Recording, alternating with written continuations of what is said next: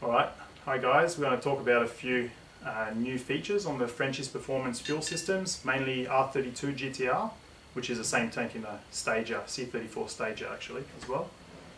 Um, this is the new design in-tank surge tank, which uh, will replace the current range.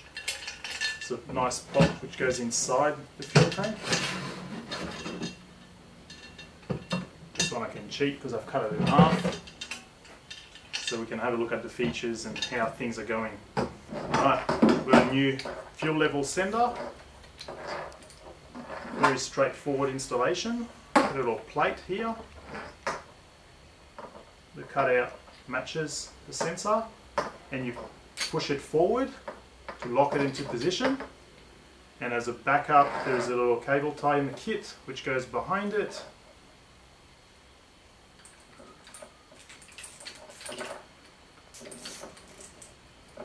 which prevents it from ever popping out. It just physically can't come out. Just cut that nice and tidy. Now that might sound obvious, but the cabling, we don't want it all tangled up around the sender or your gauge won't work. I know it sounds silly, but trust me. To go inside the tank, so this is the front of the car. If you're looking inside the boot, you'll be looking this way cut the fuel tank so you can see exactly what's going on. Easy as, go through the hole. And down on the inside you can see the factory fuel pump holder. Let's take this out of the way. So we've replicated the mounting to suit the little holder. You align it and you're going to push it until it clicks into position. So that's, that's installed there. To remove it, you just pull it back out. This is wide as a cutout section here for your fingers. Gives you something to grab onto and you can just pop it back out. So as your tank fills up, the float will go up and that will just work with your factory gauge or you can uh, calibrate it into aftermarket dashes. Talking about dashes, it's actually, I get people asking me for the values. Sometimes, to be honest, it's, it's a lot more accurate to actually start with an empty tank and set up your calibration as you pour the fuel in. So you can split it up in like 10 litre or 15 litre increments. And as you pull it in pour it in sorry record the value and start inputting your own curve into your digital display it will be a lot more accurate because this is not a perfect cube. Alright, so that's the new fuel system kit for those cars. And you'll notice that it comes kind of collapsed in the box and this moves that's purely for packaging and, and uh, just keeping everything together in the kit. You can undo those rods. They will unscrew from the hat. So you can separate the billet hat from the pot. I'll explain why. Um, well, I've got the hat here. There's quite a few features. You've got your power terminals there. You've got four pins. They can handle 25 amp each. They're quite decent. Got a three pin connector there for your fuel level. You'll find it's already got a tail which matches the fuel sender. So plug and play operation, very easy. Take the guesswork out for you. Uh, in terms of wires here we can power either two pumps by going two positives, two negatives or you can also go up to four pumps by using the four wires, four positives, and using the ground point on the hat. You can see that, that section where there's no anodizing, it's a nice raw finish. You can actually screw terminals there to do all your negative grounding through the hat. So this point will then go straight to your chassis, and this point to all the negatives on your pumps. It Allows you to run a lot of different options. Uh, we've got a feed port, and this one is a dash 8, and a barb for the return. This will just return fuel back inside the pot. These fittings can be interchanged to all sorts, barbs, dash 6, dash 8, dash 10, whatever you want. And the same thing on the outside. You can actually, know, finger tight on this one. We've opted for M18 by 1.5 threads, so you can just get whatever fitting combination you want. You can start with factory lines and upgrade in the future. You can do anything you want. Alright, we'll have at the pot. So the pot can actually be pulled apart.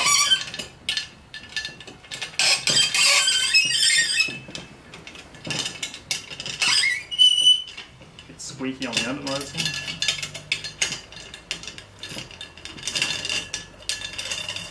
We've got long bolts there, holding the pot together. Got a top ring. Got a bottom section. So I'll pop it out. It's probably going to be a bit rough. Quite a nice snug finish. You can use a rubber mallet, a little bit of timber or something just to pop it out. Um, yeah. Everything's made in Australia, proudly. So this is what's inside. Now what does it do? We've got a hole in here which is designed to house a little lift pump. You can actually use quite a different, a lot of different pumps. You can use the AEM 340s or Walbro 255. Um, personally, I like using the Pierburg 255 litre an hour lift pump. These are they're actually lift pump. They're not designed to do anything else than just flow fuel. Uh, they're great because they flow a fair bit. They're multi-fuel compatible and they only draw about 2 amps. So you don't even know they're on. It's, it's just awesome. Um, so yeah, we've designed it so the cradle will hold it in, pokes out the bottom, and then you can put your filter sock on the bottom. We'll do we'll do it at the end. Um, to hold it in, it's very, very straightforward. The kit comes with clamps. It's just the easiest slash most compact way to do it because uh, you'll see it gets a little busy in there. So what we do is just put the clamp around the pump. The best is to work out where your worm drive is going to end up. You don't want it to interfere with the pot or interfere with anything. Right, so we've got our little lift pump secured in the cradle. Uh, like I said before, this will end up on the bottom here. Quite a snug little filter. It's great, it's got a little feet on there so the thing can sit down the bottom and it's not going to get squashed. It's actually really well designed with a little screen there. In the kit, there's a little elbow like this. So that goes on the outlet of the pump because you want the fuel to stay in the pot and not shoot straight up. That would be just a little bit counterproductive there. So once the pot's on there like this, the fuel will just get sucked from the bottom and then just swirl inside and overflow out the top. And now we've got spots for two main pumps. Uh, those Walbro 460s or the 525s, they're the weapon of choice. They work really well. They've been reliable for years quite affordable. They just tick all the boxes. Um, they do draw a fair bit of current, but here's what it is. So, little trick. There's little custom little socks there, nice and compact.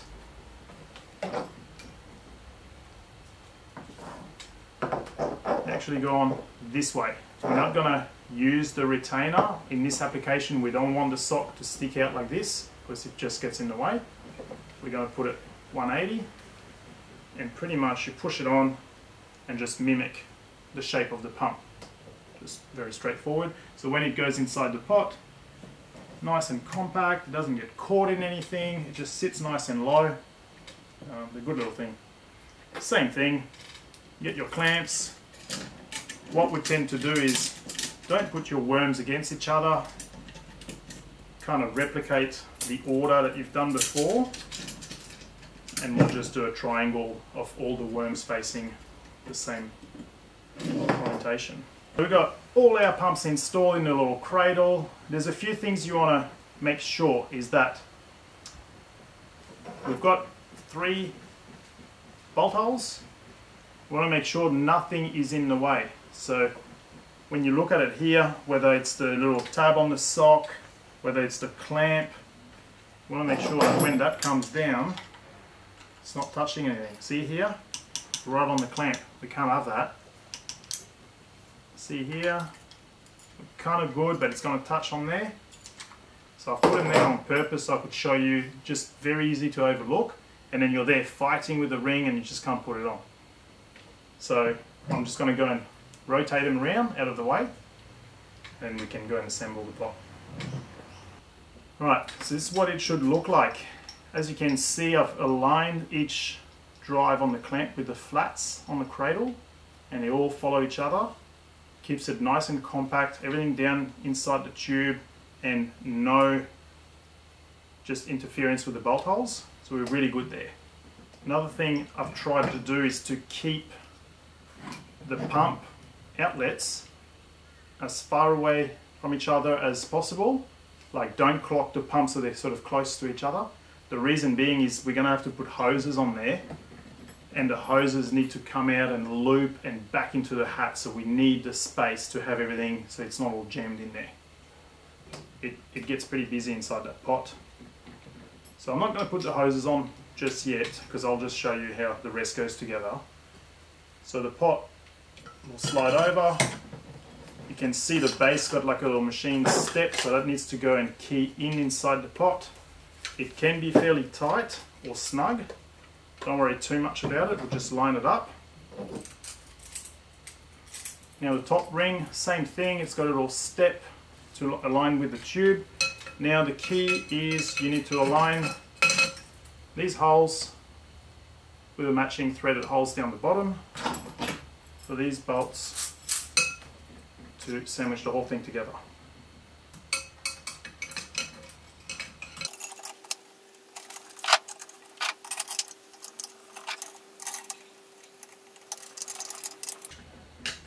Now the trick is to sort of nip it together. Don't just go swinging. It's, it's only thin aluminium. It's not designed to hold the cylinder head on. It's designed to just keep it together. You need to actually go around and make sure that everything is sort of clipped in. So you might have to push it. You might have to tap it a little bit. The best is to always check that it's aligned and you keep nipping it up as you go, which will help. If you put it on all crooked and you keep tightening it, it's, it's just not going to work out well. It's a bit squeaky with the anodizing, that's normal. Usually that's the amount of force that I'm putting on there. We don't need it that tight. Put it all together.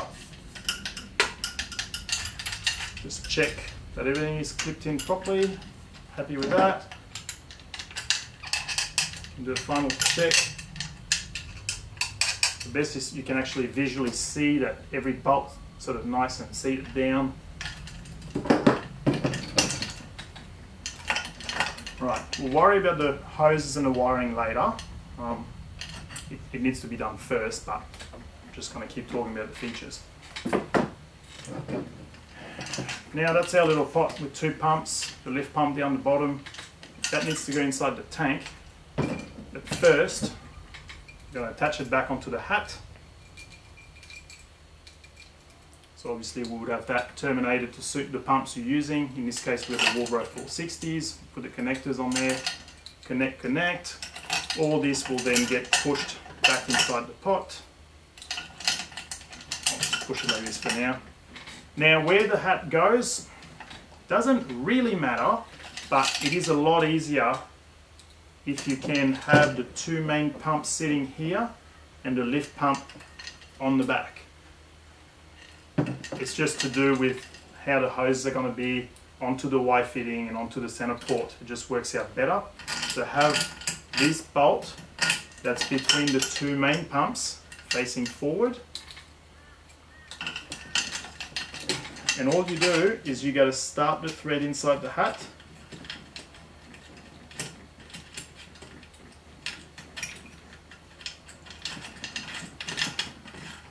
And you just screw it in until it bottoms out.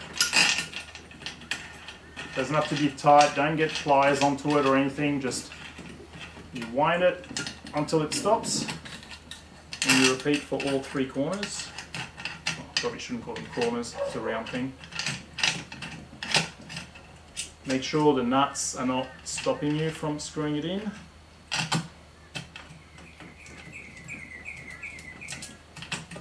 So we want it to stop. Visually you can see that the hat is kind of equally spaced. If the thing was like this when it's fully tightened, you probably have a problem. I would definitely go back and check. So that's what our little nugget looks like. Now the next step is to make sure that this is actually going to sit at the right height. We've designed them to suit these tanks, however, you never know what's been done in the past. The tank could be deformed, could have been a hit, uh, could have been damaged, could have different straps that's actually squashing it a certain way. So you, you just need to check. You need to check how it sits in your tank. So I'll show you what the go is. When this goes inside,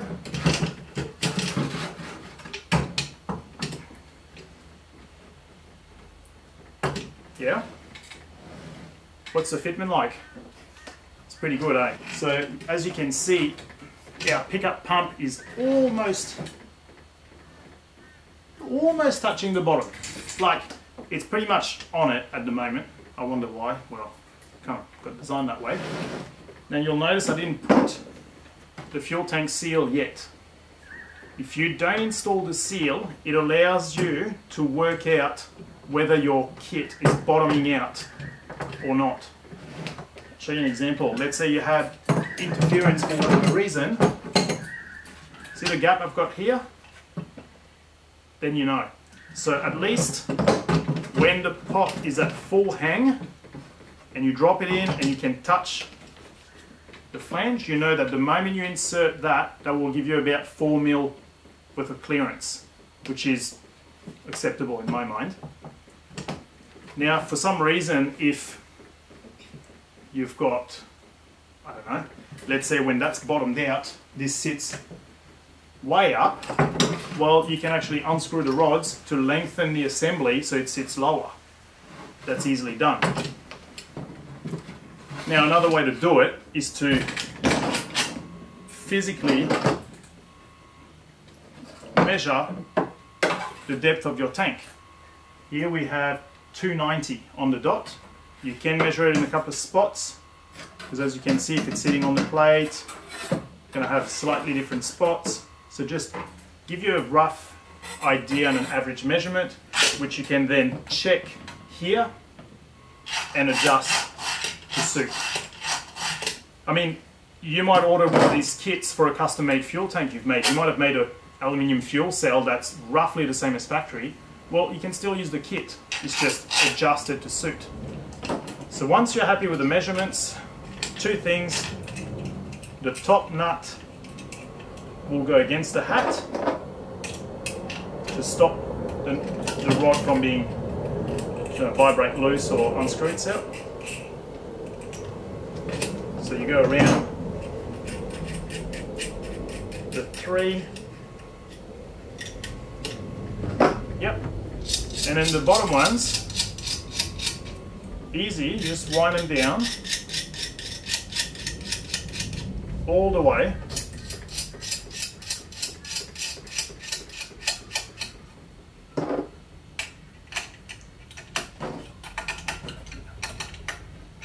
And just snip them up.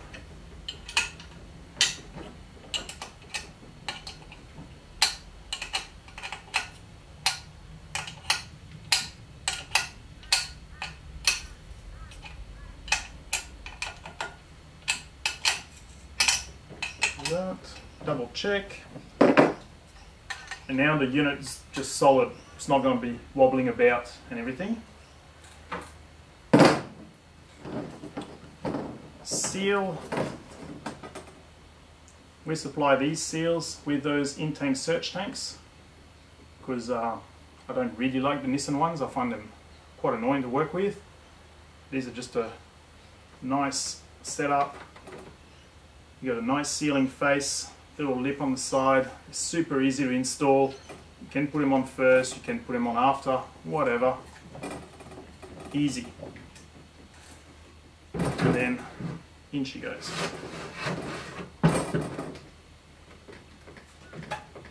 It's finished. You're not there battling with the seal that wants to roll and trying to lube it up or anything. Just it's a great little setup. So once the kit's in, you can align whichever way Factory lock ring goes back on it. And if you're sick of hurting your fingers doing these or using screwdrivers, you can get the FPG tooling for it, which is designed to sit over it. And you can use a half inch ratchet to tighten it up.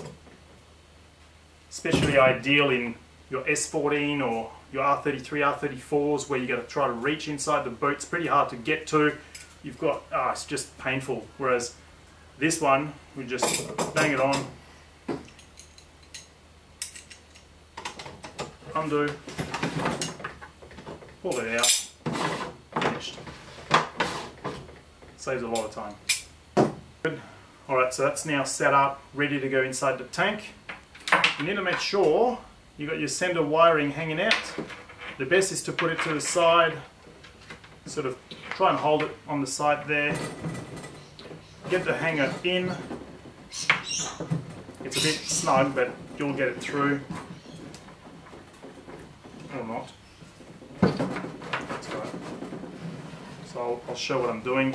Over here, you'll need to connect the wiring.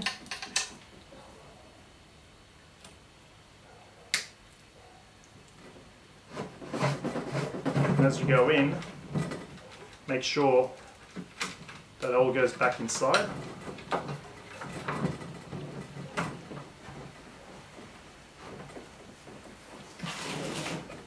don't know if you can see through there. The wiring's inside, it's connected. That is free to go wherever. It can just sit there. It's not going to get in the way. It's the same thing on the way out. As you grab it, the best is to not pull it, otherwise you can't get the connector past. You need to go and get the connector first. Here. To be able to undo it. And then the work can come out.